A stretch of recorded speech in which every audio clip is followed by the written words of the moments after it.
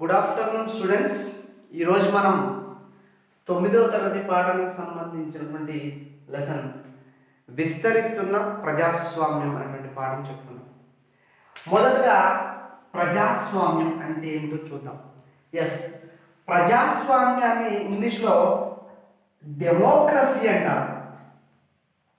Democracy ఈ democracy అనేటువంటి పదము డెమోస్క్రేషియా అనే రెండు గ్రీకు పదాల నుంచి ఉద్భవించడం జరిగింది. ఎస్ డెమోస్ అంటే ప్రజలు క్రేషియా అంటే పరిపాలన అని అర్థం. సో డెమోక్రసీ అంటే ప్రజా పరిపాలన అని అర్థం. ప్రజాస్వామ్యానికి చాలా ఫేమస్ డెఫినేషన్ అబ్రహం లింకన్ గారు ఇవ్వడం జరిగింది. అదేంటంటే democracy is the government of the people for the people and by the people అంటే ప్రజల చేత ప్రజల కొరకు మరి ఎన్నుకోబడిన ప్రజలచే ఎన్నుకోబడినటువంటి ప్రజా ప్రతినిధుల ద్వారా పరిపాలించబడేటువంటి ప్రభుత్వాన్ని ప్రజాస్వామ్య ప్రభుత్వంగా మనం పేర్కొనడం జరిగింది. ఇక్కడ యూరప్ ఖండంలో మనకి యూరప్ గత పాఠంలో గత అధ్యాయాలలో యూరప్ ఖండంలో జరిగినటువంటి అనేక ప్రజాస్వామ్యమైన ప్రభుత్వాల కోసం జరిగినటువంటి విప్లవాల గురించి మనం మాట్లాడాం. ఎస్ ఇంగ్లాండ్లో జరిగినటువంటి రక్తపాత రహిత విప్లవం దివ్య విప్లవం మహోన్నత విప్లవం ఇంగ్లాండ్లో జరిగింది. నిరంకుశ ప్రభుత్వాలకు వ్యతిరేకంగా మరి ఆ, ప్రభుత్వాల ఏర్పాటు కోసం. ఈ విధంగా ఎస్ అంటే ప్రజాస్వామ్యం అనేది ప్రజాస్వామ్య ప్రభుత్వాలు అనేది ఏ విధంగా ఉండాలి అంటే ఎస్ ప్రజల యొక్క ఆకాంక్షలకు అనుగుణంగా ప్రజల యొక్క అవసరాలు తీర్చే విధంగా ప్రజలకు గౌరవప్రదమైనటువంటి స్థానం కలిగించే విధంగా మరి ప్రజల యొక్క అవసరాలకు అనుగుణంగా ఆకాంక్షలకు అనుగుణంగా అదేవిధంగా ప్రజలందరికీ గౌరవప్రదమైన స్థానం దొరికే ప్రభుత్వాలను ఏర్పాటు ఏర్పాటు చేయడం అనేది ప్రజాస్వామ్య ప్రభుత్వాల యొక్క లక్ష్యం. అంటే సాధారణంగా నిరంకుశ చర్యలకు వ్యతిరేకంగా నిరంకుశ ప్రభుత్వాలకు వ్యతిరేకంగా ప్రజలకు పూర్ అంటే ఆ నిరంకుశ ప్రభుత్వాలను ఎదిరించేటువంటి పూర్తి అధికారం స్వేచ్ఛ ప్రజలకు ఉన్నట్లయితే ఇగో అలాంటి ప్రభుత్వాలను మనం ప్రజాస్వామ్య ప్రభుత్వాలు అని చెప్పేసి చెప్పడం జరుగుతుంది. సో ఇలా ప్రజాస్వామిక ప్రభుత్వాల ఏర్పాటు కోసం ప్రపంచ దేశాలు లో చాలా దేశాలు ప్రజాస్వామిక ప్రభుత్వాల కోసం పోరాడుతూనే ఉన్నాయి. ఈ పాఠంలో ఈ విస్తరిస్తున్నటువంటి ప్రజాస్వామ్యమైనటువంటి పాఠంలో మనకి ప్రపంచంలో ప్రజాస్వామ్య ప్రభుత్వాల కోసం ఏర్పాటు పోరాటం చేస్తున్నటువంటి దేశాలకు ఎగ్జాంపుల్గా రెండు దేశాలను ఇవ్వడం జరిగింది. ఒకటి లిబియా రెండవది మయన్మార్. లిబియా ఇది అంటే ఆఫ్రికా ఖండంలో ఉన్నటువంటి ఒక దేశం. మయన్మార్ అనేది ఆసియా ఖండంలో ఉన్నటువంటి దేశం. ఈ రెండు దేశాలు ప్రజాస్వామ్య ప్రభుత్వాల కోసం ఏ విధంగా పోరాటం చేసిందో మనం ఇప్పుడు చెప్పుదాం మొదటగా లిబియా గురించి మనం మాట్లాడదాం. Yes Libya. లిబియా అనేది ఇది ఆఫ్రికా ఖండంలో ఉన్నటువంటి ఆఫ్రికా ఖండంలో ఉన్నటువంటి ఒక దేశం లిబియా. ఈ లిబియా అనేది ఏ ఖండంలో ఉన్నది అంటే ఆఫ్రికా ఖండంలో ఉన్నది. ఆఫ్రికా ఖండానికి ఏ భాగంలో ఉన్నది అంటే ఉత్తరం వైపున ఉండడం జరిగింది. ఈ ఆఫ్రికా ఖండానికి పైన ఉన్నటువంటి యొక్క సముద్రం ఏదంటే అంటే మధ్యధరా సముద్రం. మధ్యధరా సముద్రం. ఉత్తరం వైపు ఉన్నటువంటి సముద్రం మధ్యధరా సముద్రం. తూర్పు వైపున ఈజిప్ట్ అనేటువంటి దేశం ఉంది. ఇక్కడ దక్షిణ వైపున చాద్ మరియు సూడాన్ లాంటి దేశాలు ఉన్నాయి. పశ్చిమ వైపున ట్యునీషియా లాంటి చిన్న దేశం సో అంటే లిబియా అనేది భౌగోళికంగా ఆఫ్రికా ఖండంలో ఉన్నది. ఈ లిబియా ఖండంలోని ఉన్నటువంటి ముఖ్యమైన పట్టణాలు ఈ ప్రాంతంలో ఉన్నది. దీని యొక్క రాజధాని ట్రిపోలి. ఇక్కడ ఉన్నటువంటి మరొక పట్టణం సిర్తే పట్టణం. సిర్తే చాలా ఫేమస్ పట్టణం ఇది సిర్తే అనేది ఇక్కడ నుండి మరొక పట్టణం పేరు బెంగాజీ. ఇది కూడా చాలా చాలా ఫేమస్ సిటీ లిబియా ఇది లిబియా యొక్క భౌగోళిక పరిస్థితులు అందులో ఉన్నటువంటి ముఖ్యమైనటువంటి పట్టణ. ఇక లిబియా గురించి మనం మాట్లాడినట్టయితే ఎస్ లిబియా అనేది ఉత్తర ఆఫ్రికాలో ఒక దేశం ఒక పేద దేశం. ఇది ఎవరి పరిపాలనలో ఉన్నది? అంటే ఎస్ భారతదేశాన్ని ఇంగ్లాండ్ వాళ్ళు ఏ విధంగా పరిపాలించారో. సేమ్ లిబియాని కూడా ఇటలీ యొక్క వలస పాలనలో ఉన్నది. ఎస్ ఈ యొక్క ఇటలీ అనేది లిబియా అనేది ఇటలీ వలస పాలనలో ఉన్నది. దాదాపు లిబియాకి సుదీర్ఘమైనటువంటి పోరాటం తర్వాత ప- ఇటలీ పైన పంతొమ్మిది యాభై ఒకటి డిసెంబర్ ఇరవై నాలుగో తారీఖున స్వాతంత్రం రావడం జరిగింది. లిబియాకి. ఇటలీ వలస పాలన నుండి విముక్తి లభించింది లిబియాకి. ఎస్ పంతొమ్మిది వందల యాభై ఒకటి డిసెంబర్ ఇరవై నాలుగున స్వాతంత్రం సాధించింది లిబియా. స్వాతంత్ర అనంతరం మరి లిబియా యొక్క అధికారాన్ని చేజిక్కించుకున్నటువంటి వ్యక్తి ఎవరైనా అంటే ఎస్ స్వాతంత్ర అనంతరం ఇటలీ వాళ్ళు రాజు అక్కడటువంటి ఇద్రిస్కు ఈ యొక్క లిబియా అధికారాన్ని అప్పగించి వెళ్ళడం జరిగింది. ఇద్రిస్. ఈ విధంగా స్వతంత్ర అనంతరం ఇద్రిస్ యొక్క చేతుల్లోకి లిబియాని లిబియా అనేది పెట్టి ఇటలీ వెళ్ళిపోవడం జరిగింది. ఇలా ఈ ఇద్రిస్ రాజు లిబియాని కొన్ని ధనిక శక్తివంతమైనటువంటి కుటుంబాల యొక్క సహాయంతో లిబియాను అతడు పరిపాలించడం జరిగింది. ఎస్ స్వతంత్రానంతరం ఇటలీ ఎవరి అధికారాన్ని చే ఇప్పించడం జరిగిందంటే రాజు ఇద్రిస్. మరి లిబియా యొక్క ప్రజల యొక్క వృత్తి ఏ విధంగా ఉన్నది? ఎస్ లిబియా ప్రజలు ఇక్కడ మనకి లిబియా అనేది ఉత్తరాఫ్రికాలో ఉంది కాబట్టి ఆఫ్రికా ఖండం యొక్క ఉత్తర భాగంలో దాదాపు ప్రపంచంలోనే అత్యంత పెద్దదైనటువంటి డిజర్ట్ ఎడారి. ఏంటది? సహారా ఎడారి. సో అక్కడ ప్రజల యొక్క వృత్తి ఏంటంటే ఎడార్లలో ఎడార్లలో పశువుల పాలన. ఎస్ ఎడార్లలో పశువుల పాలన మరియు అక్కడ ప్రజలు వ్యవసాయం ప్రధాన వృత్తిగా ఎంచుకోవడం జరిగింది. ఎస్ లిబియా సమాజం. వ్యవసాయం చేసుకుంటూ ఎడారులలో పశువుల పాలన కొనసాగించుకుంటూ అనేక తెగలు ఈ యొక్క లిబియాలో తమ యొక్క జీవనాన్ని అంటే లిబియాలో తెగలు ఎడారులలో పశువుల పాలన చేసుకుంటూ వ్యవసాయం చేసుకుంటూ తమ యొక్క జీవనాన్ని కొనసాగించడం జరిగింది. కానీ ఈ తెగల పైన ఈ యొక్క తెగల పైన లిబియాలో ఉన్నటువంటి ధనిక శక్తివంతమైనటువంటి కుటుంబాల యొక్క ఆధిపత్యం ఉండేది. ప్రజల యొక్క సంక్షేమం అనేది పట్టించుకోకుండా ధనిక శక్తివంతమైనటువంటి కుటుంబాల యొక్క ఆధిక్యంతో ఇద్రిస్ రాజు పరిపాలన కొనసాగించడం జరిగింది. ప్రజలందరి సంక్షేమం కంటే ధనిక కుటుంబాల యొక్క జాతుల యొక్క సంక్షేమం వాళ్ళ యొక్క గౌరవానికే ప్రాధాన్యతనివ్వడం జరిగింది. మరి ఇక్కడ ఉన్నటువంటి ప్రజలు పాపం పశువుల పాలన వ్యవసాయం నిరక్షరాస్యత ఇక్కడ ఉన్నటువంటి మహిళలు మళ్ళీ పరదా పద్ధతిని పాటించి ప్రజాస్వామిక వ్యవస్థలో ముఖ్యంగా ప్రజా కార్యక్రమాల్లో వాళ్ళని మహిళల్ని పాల్గొనిచ్చేవారు సో ఇలాంటి సందర్భంలో ఎస్ పంతొమ్మిది వందల యాభై తొమ్మిదో సంవత్సరం చాలా ఇంపార్టెంట్ ఇది. పంతొమ్మిది వందల యాభై తొమ్మిదిలో లిబియా దేశంలో విస్తారమైనటువంటి ముడి చమురు నిల్వలను కనుగొనడం జరిగింది. సో లిబియాలో విస్తారమైనటువంటి ముడి చమురు నిల్వలను కనుగొనడం జరిగింది.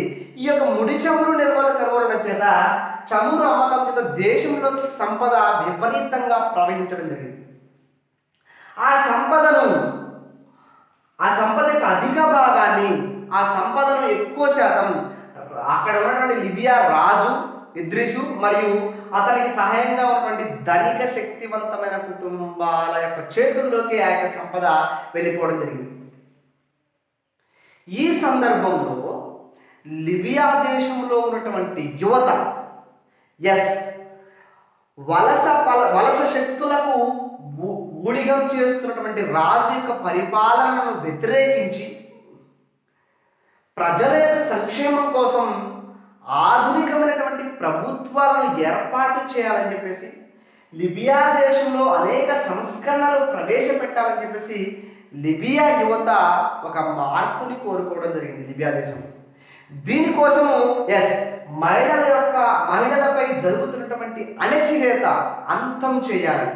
ఎస్ లిబియా దేశంలో ఉన్నటువంటి వివిధ రకాల జాతులు నిరంతరం యుద్ధం చేసుకుంటూ ఉండేవి ఆ యొక్క నిరంతర యుద్ధాల నుండి ఆ లిబియా జాతులకు చరమగీతం పాడాలని చెప్పేసి. అదేవిధంగా లిబియా దేశంలో ఐక్యతను శాంతిని స్థాపించాలని చెప్పేసి. అదేవిధంగా చమురు ద్వారా లభిస్తున్నటువంటి ఒక కొత్త ఆదాయం ప్రజలందరి సంక్షేమం కోసం ఖర్చు పెట్టాలని చెప్పేసి లిబియా యువత ఆ యొక్క దేశంలో అనేక సంస్కరణలను ప్రవేశపెట్టాలని చెప్పేసి కోరడం జరిగింది. సో ఎగ్జాక్ట్గా ఇదే సందర్భంలో ఒక పది సంవత్సరాల తర్వాత పంతొమ్మిది వందల అరవై తొమ్మిది సెప్టెంబర్ ఒకటో తారీఖున ఎస్ చాలా ఇంపార్టెంట్ ఇది లిబియా చరిత్రలో చాలా ప్రాధాన్యతమైనటువంటి తేదీ పంతొమ్మిది వందల అరవై తొమ్మిది సెప్టెంబర్ ఒకటి. మొహమ్మద్ మహమ్మద్ అబు గడాఫీ అనేటువంటి ఒక వ్యక్తి ముమ్మర్ మహమ్మద్ గడాఫీ అనే వ్యక్తి. పంతొమ్మిది అరవై తొమ్మిది సెప్టెంబర్ ఒకటిన ఒక డెబ్బై మంది యువ సైనికుల అధికారుల బృందం చేత లిబియాలో ఉన్నటువంటి రాజు యొక్క మీద తిరుగుబాటు చేసి ఒక్క రక్తపు బొట్టు కూడా చెందించకుండా లిబియా అధికారాన్ని మహమ్మద్ గడాఫీ చేజిక్కించుకోవడం జరిగింది. సైన్యం మద్దతుతోటి జరిగినటువంటి తిరుగుబాటు ఆ తిరుగుబాటు ఫలితంగా ఆ లిబియాను పరిపాలిస్తున్నటువంటి ఇద్రిస్ రాజు దేశం నుంచి విదేశాలకు పారిపోవడం జరిగింది. మరి మహమ్మద్ గడాఫీ అనే వ్యక్తి ఎస్ మహమ్మద్ గడాఫీ అనే వ్యక్తి ఆ లిబియా దేశంలో అప్పటిదాకా సాగినటువంటి రాచరిక ప్రభుత్వాన్ని కూలదోసి సోషలిస్ట్ అరబ్. సోషలిస్ట్ అరబ్ గణతంత్రంగా ప్రకటించడం జరిగింది. Muhammad Gaddafi. ఈ మహమ్మద్ గడాఫీ నేతృత్వంలో సైన్యంలోనే పన్నెండు మంది అధికారుల చేత ఒక కమిటీని ఏర్పాటు చేయడం జరిగింది. అదే రెవల్యూషనరీ కమాండ్ కౌన్సిల్. వీళ్ళ నేతృత్వంలోనే లిబియాలో ఉద్యమం నడిచింది. రాజుకు వ్యతిరేకంగా మరి సైన్యం వీళ్ళకి పూర్తి మద్దతునిచ్చింది. ఈ యొక్క రివల్యూషనరీ కమాండ్ కౌన్సిల్ నేతృత్వంలోనే లిబియాలో అత్యాధునికమైనటువంటి మార్పులు చోటు చేసుకోవడం జరిగింది. సో గడాఫీ ఏర్పాటు చేసినటువంటి ఈ యొక్క ఆర్సిసి రివల్యూషనరీ కమాండ్ కౌన్సిల్లోను మరి ఈ యొక్క అరవై తొమ్మిది సెప్టెంబర్ ఒకటిన తిరుగుబాటు చేసి లిబియాలో ఉన్న అధికారాన్ని చేజిక్కించుకోవడం జరిగింది. అదేవిధంగా ఈ యొక్క ఆర్సీసీ ఎస్ లిబియాని ఆధునిక సమసమాజం వైపు నడిపించాలని చెప్పేసి లిబియాని ఒక అత్యాధునికటువంటి అభివృద్ధి చేయాలని చెప్పేసి అదేవిధంగా లిబియాలో అధికులు అనుసరిస్తున్నటువంటి అంటే ఇక్కడ సమాజంలో అధిక ప్రజల మతమైనటువంటి ఇస్లాం మత సూత్రాలను మూల సూత్రాలను అనుసరించాలని చెప్పేసి ఈ యొక్క ఆర్సిసి కోరుకోవడం జరిగింది. సో ఈ విధంగా ఈ యొక్క మహమ్మద్ గడాఫీ నేతృత్వంలో ఉన్నటువంటి కొత్త ప్రభుత్వము అనేక పరమైనటువంటి సంస్కరణలు తీసుకురావడం జరిగింది. అవి ఏంటంటే ఎస్ నెంబర్ వన్ లిబియాలో లిబియా అంటే ఆ మహమ్మద్ గడాఫీ ప్రభుత్వం లిబియాలో ఎలాంటి సంక్షేమ కార్యక్రమాలను చేపట్టింది? ఎస్ అక్కడ ఉన్నటువంటి చమురు వనరులను జాతీయం చేసి చమురు వనరులను జాతీయం చేసి దాని ద్వారా వచ్చినటువంటి ఆదాయాన్ని లిబియా ప్రజలకు పంచడం జరిగింది. ఎస్ రెండవది లిబియాలో ఉన్నటువంటి సంచార జీవనాన్ని అంతం చేసి నీటి వసతులను కల్పించి సాగునీటి విస్తీర్ణ కార్యక్రమాన్ని పెంచే కార్యక్రమం చేయడం జరిగింది. అదేవిధంగా మూడవది ఎస్ లిబియా దేశంలో మహమ్మద్ గడాఫీ గురించి కూడా మనం చెప్పుకున్నాం ఎస్ మహమ్మద్ గడాఫీ యొక్క వాళ్ళ అమ్మ నాన్నగారు లిబియాలో నుండి ప్రతి ఒక్క పౌరుడు ప్రతి ఒక్కళ్ళు కూడా తాము తమ కోసం ఒక అద్భుతమైనటువంటి గృహవస్థని ఏర్పాటు చేసేంత వరకు మేము ఈ యొక్క టెంటులోనే ఉంటామని చెప్పేసి మహమ్మద్ లిబియాను పరిపాలిస్తున్నటువంటి మహమ్మద్ గడాఫీ వాళ్ళ అమ్మా నాన్న శపథం చేసి ఆ యొక్క లిబియాలో ప్రతి ఒక్క పౌరుడికి ఇల్లు దొరికే ఇల్లు కట్టేంత వరకు ఇళ్ళలో నివసించేంత వరకు మేము ఈ టెంటులోనే ఉంటామని చెప్పేసి ఆ మహమ్మద్ గడాఫీ వాళ్ళ అమ్మ నాన్నగారు చాలా అద్భుతమైన శపథం చేయడం జరిగింది. సో ఆ ఆ యొక్క ఉద్దేశంతో మహమ్మద్ గడాఫీ ప్రతి ఒక్కళ్ళకి కూడా గృహ వసతిని కల్పించడం జరిగింది ఈ యొక్క గడాఫీ ప్రభుత్వం. అదేవిధంగా ప్రజలందరికీ కూడా ఉచితమైనటువంటి విద్య అదేవిధంగా వైద్య సదుపాయాలు ఉచితమైనటువంటి విద్య వైద్య సదుపాయాలు కల్పించడం జరిగింది. అదేవిధంగా మహిళలకు ఉద్యోగపరమైనటువంటి అవకాశాలను కూడా ఇవ్వడం జరిగింది. అదేవిధంగా రాయి మ- మహిళలకు స్వేచ్ఛని సమాన హోదాని కల్పించడం ప్రభుత్వ ఉద్యోగాలు వ్యాపారాలు చేయించిన అధికారం కూడా పూర్తి స్థాయిలో వాళ్ళకు కల్పించడం జరిగింది. సో ఈ విధంగా గడాఫీ ప్రభుత్వం లిబియా ప్రజలకు అనేకమైనటువంటి సామాజిక సంక్షేమ కార్యక్రమాలను ప్రవేశపెట్టడం జరిగింది. తద్వారా లిబియా సమాజం ఆఫ్రికా ఖండంలోని సామాజిక సంక్షేమపరమైన విషయంలో అత్యున్నత అత్యున్నతమైనటువంటి స్థానాన్ని సంపాదించడం జరిగింది. తద్వారా వారి ప్రజల జీవన ప్రమాణం యాభై సంవత్సరాల నుంచి డెబ్బై ఏడు సంవత్సరాలకు పెరిగింది. నేడు వారి యొక్క అక్షరాస్యత శాతం తొంభై శాతం పైగా ఉంది తొంభై శాతం పైగా ఉన్నది. ఈ విధంగా లిబియా సమాజం మరి అనేక రకాలైన సంక్షేమ కార్యక్రమాలు చేపట్టి గడాఫ్ ప్రభుత్వం అద్భుతంగా వ్యవహరించడం జరిగింది. కానీ ఇక్కడ లిబియాలో మరి కొన్ని గడాఫీ ఏం ఏర్పాటు చేశారంటే రెవల్యూషనరీ కౌన్సిల్ను ఏర్పాటు చేయడం జరిగింది. ఎస్ ఈ రెవల్యూషనరీ కౌన్సిల్ ద్వారానే మరి పరిపాలన ప్రారంభించడం జరిగింది. కానీ ఈ రెవల్యూషనరీ కౌన్సిల్ అక్కడ వీళ్ళ మీద ఈ రెవల్యూషనరీ కౌన్సిల్ మీద ప్రజలు చేసేటువంటి విమర్శలను మరి ఇది పట్టించుకోలేదు. ప్రజల యొక్క నిర్ణయాలను ఇది అమలు చేయలేదు. తద్వారా ఈ యొక్క రెవల్యూషనరీ కౌన్సిల్ అనేవి ఆ లిబియా దేశంలో ఉన్నటువంటి రాజకీయ ప్రత్యర్థులను చంపించి వేయడం రాజకీయ ప్రత్యర్థులను అరెస్టు చేయడం అదేవిధంగా కార్మికులకు స్వేచ్ఛనివ్వకపోవడం అదేవిధంగా ప్రసార సాధనాలన్నీ కూడా ప్రభుత్వం యొక్క ఆధీనంలోనే ఉండటం ఈ విధంగా అనేక రకాలైనటువంటి నియంతృత్వ పోకడలకు పోకడ చర్యలను సైనిక శక్తిని ఉపయోగించుకొని అక్కడ లిబియా దేశంలో బహుళ పార్టీలకు అవకాశం లేకుండా రాజకీయ పార్టీలకు అవకాశం లేకుండా నియంతృత్వ చర్యలను ప్రోత్సహించే విధంగా గడాఫీ ప్రభుత్వం నుండి ఈ రెవల్యూషనరీ కౌన్సిల్ల వల్ల అక్కడ ప్రజలందరూ కూడా గడాఫీ ప్రభుత్వానికి సంబంధించినటువంటి తిరుగుబాటు చేయడం అంటే లిబియాలో గడాఫీ ప్రభుత్వానికి వ్యతిరేకంగా ఏ రాజకీయ పార్టీ ఉండడానికి అవకాశం లేదు. పత్రికలకు స్వేచ్ఛ లేదు. కార్మిక స్వేచ్ఛ లేదు. కార్మిక సంఘాలు లేవు.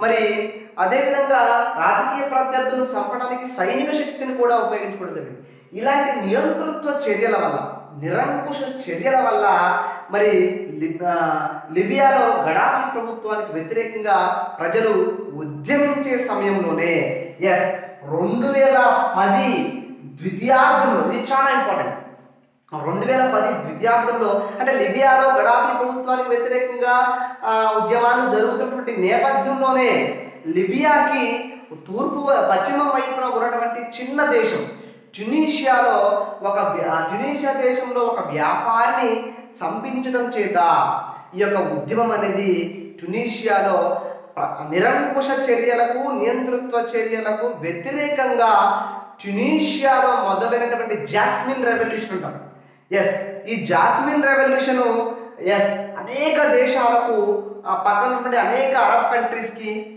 విస్తరించడం జరిగింది. ఎలా అంటే అక్కడ ఉన్నటువంటి అంటే అరబ్ దేశాలలో ఉన్నటువంటి నిరంకుశ నియంతృత్వ పోకడలకు వ్యతిరేకంగా ప్రజాస్వామికమైనటువంటి ప్రభుత్వాలను ఏర్పాటు చేయాలని చెప్పేసి అనేక ఉద్యమాలను ఆ యొక్క చేయడం జరిగింది. ఎక్కడది? ట్యునీషియాలో మొదలైనటువంటి ఈ విప్లవం. ఎస్ ట్యునీషియాలో మొదలైన విప్లవం ఈజిప్టు మరియు లిబియా ఆ తర్వాత లిబియా ఆ తర్వాత యోమన్ బహ్రెయిన్ సిరియా లాంటి దేశాలకు కూడా ప్రజాస్వామిక ప్రభుత్వాల ఏర్పాటు కోసం నిరంకుశ ప్రభుత్వాలకు వ్యతిరేకంగా ప్రజాస్వామిక ప్రభుత్వాలను ఏర్పాటు చేయాలని చెప్పేసి ఒక అరబ్ ప్రజలందరూ కూడా ఉద్యమించడం జరిగింది. దీన్నే అరబు వసంతంగా పేర్కొంటాము. చాలా చాలా ఇంపార్టెంట్ అరబ్ వసంతం. సో నిరంకుశ ప్రభుత్వాలకు వ్యతిరేకంగా అరబ్ కంట్రీస్లో సాగించినటువంటి యొక్క ఉద్యమాన్నే అరబ్ వసంతంగా పేర్కొనడం జరిగింది. ఈ విధంగా మనకి ఈ ఉద్యమాలు మొదలైన నేపథ్యంలో లిబియాలో కూడా సేమ్ ఈ యొక్క గడాఫీ ప్రభుత్వానికి వ్యతిరేకంగా నిరంకుశ చర్యలకు వ్యతిరేకంగా మరి అనేక మంది ప్రజలు ఉద్యమించడం జరిగింది. ముఖ్యంగా బెంగాజీ లాంటి పట్టణంలో బెంగాజీ ఎస్ బెంగాజీ లాంటి పట్టణాల్లో చాలా దుర్భరమైన పరిస్థితులు. నిరుద్యోగులు స్థిరమైన ఆదాయం లేక తమ యొక్క అభిప్రాయాలను ఏ విధంగా తెలియజేయాలో ప్రసార సాధనాలు కూడా ప్రభుత్వం యొక్క ఆధీనంలోనే ఉండటం వల్ల తమ యొక్క అభిప్రాయాలను సోషల్ మీడియా ద్వారా మరి అంటే ఫేస్బుక్ ఇంటర్నెట్ ద్వారా ఉపయోగించుకుని తమ యొక్క బాధలను చెప్పుకునే ప్రయత్నం చేయడం జరిగింది. ఇలాంటి సందర్భంలోనే రెండు వేల పదకొండు జనవరిలో లిబియాకి ఈశాన్య ప్రాంతంలోని బోయిడా నగరంలో గృహ నిర్మాణాలకు వ్యతిరేకంగా రాజకీయపరమైన అవినీతికి వ్యతిరేకంగా మరి అక్కడ ప్రజలు నిరసనలు చేపట్టారు శాంతియుతమైన కార్యక్రమాలు చేపట్టారు. ఆ తర్వాత ఫిబ్రవరి నాటికి హింసాత్మకమైన ఘటనలుగా రూపుదాల్చుకుని లిబియా మొత్తం కూడా ఆ యొక్క ఆ, గడాఫీ ప్రభుత్వానికి వ్యతిరేకంగా లిబియాలో ఉండే ప్రజలు కార్మికులు న్యాయవాదులు డాక్టర్లు ఇంజనీర్లు గడాఫీ ప్రభుత్వానికి వ్యతిరేకంగా ఒక కూటమిగా ఏర్పాటు కావడం జరిగింది. ఈ సందర్భంలోనే లిబియా గడాఫీ ప్రభుత్వ అనుకూలదారులు కూడా మరి లిబియా సైన్యాన్ని అది ఆ యొక్క ప్రభుత్వం యొక్క సైన్యాన్ని ఉపయోగించుకొని ఆ యొక్క ప్రజలపై యొక్క తిరుగుబాటు పైన కాల్పులు చేయడం జరిగింది. అనేక మంది ప్రజలు చనిపోవడం కూడా జరిగింది. సో ఈ విధంగా ఈ లిబియాలో ఇలాంటి గడాఫీ ప్రభుత్వానికి తిరుగుబాటుదారులు వ్యతిరేకంగా ఉద్యమం చేస్తున్నటువంటి సందర్భంలో ప్రపంచంలోని పాశ్చాత్య దేశాలు ఎస్ పాశ్చాత్య దేశాలు బ్రిటన్ కావచ్చు అమెరికా లాంటి దేశాలు కావచ్చు.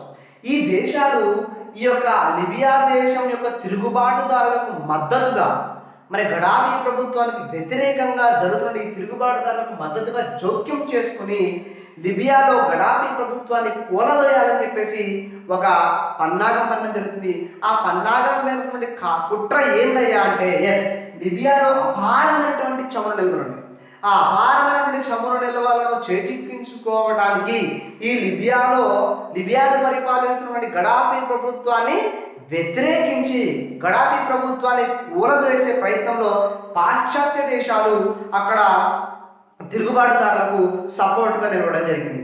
ఇదే సందర్భంలో ఐరాస ఐక్యరాజ్య సమితి కూడా ఐక్యరాజ్య సమితి కూడా ఒక తీర్మానం చేయడం జరిగింది. ఎస్ లిబియాని విమానాలు ఎగరగూడని ప్రాంతంగా ప్రకటించింది. విమానాలు ఎగరగూడని ప్రాంతం. ఎందుకు?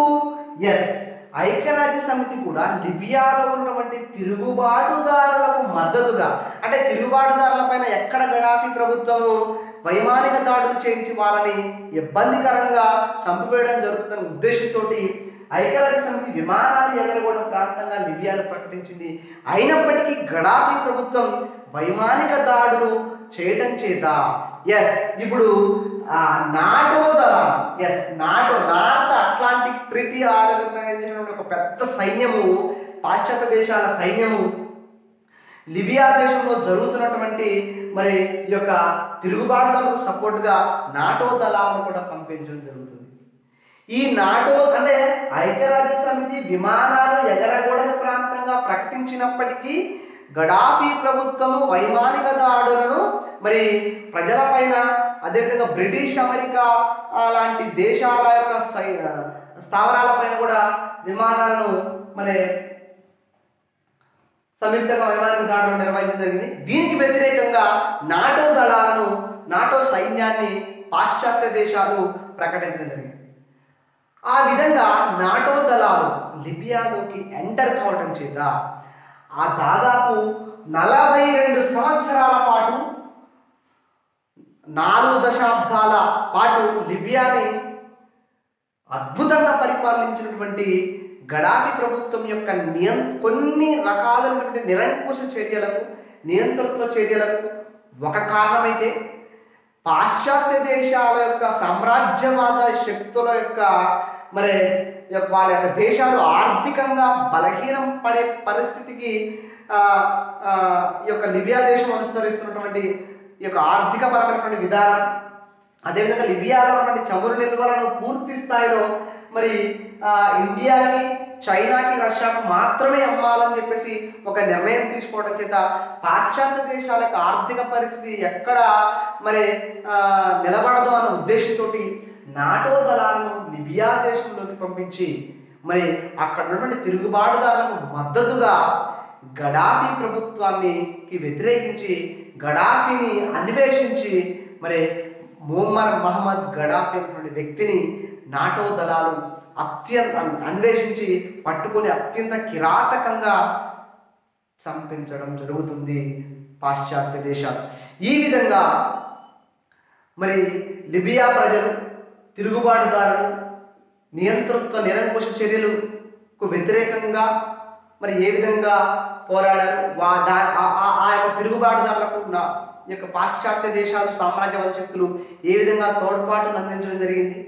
మరి అంతిమంగా నిరంకుశ ప్రభుత్వాలు నియంత్రిత ప్రభుత్వాలు కూలిపోయి ఎస్ రెండు వేల ఆ తర్వాత జరిగిన ఎన్నికల్లో ప్రజలందరూ కూడా స్వేచ్ఛగా పాల్గొని దాదాపు ఒక రెండు వందల మంది ప్రజాప్రతినిధులను ఎన్నుకోవడం జరిగింది.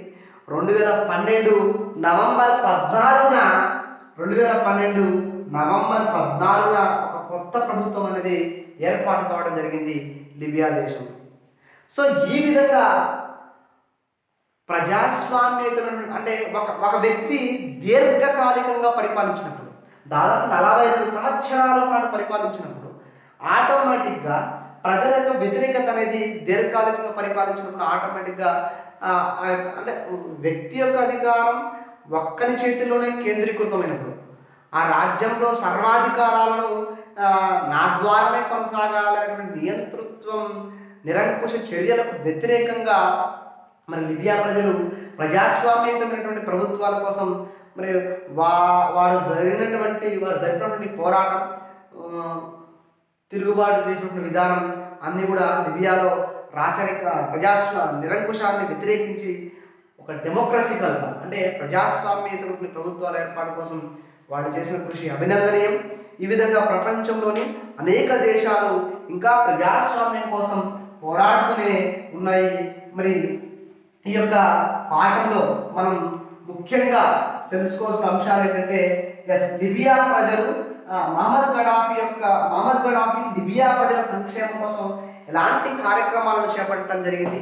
అదొక క్వశ్చన్ ఇంపార్టెంట్ ఆ తర్వాత మరి లిబియాలో తిరుగుబాటుదారులకు పాశ్చాత్య దేశాలు ఏ విధంగా సహక సహకారాన్ని అందించడం జరిగినది అదొక ఆస్పెక్ట్ ఈ రెండు కూడా చాలా ముఖ్యమైనటువంటి ప్రశ్నలు.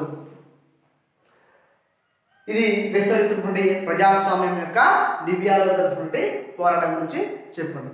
ఆ తర్వాత మనము రెండవ భాగంలో మనం మయన్మార్లో ఏ విధంగా పోరాటం జరిగిందో చెప్పుకుందాం. Thank you. Thank you very much.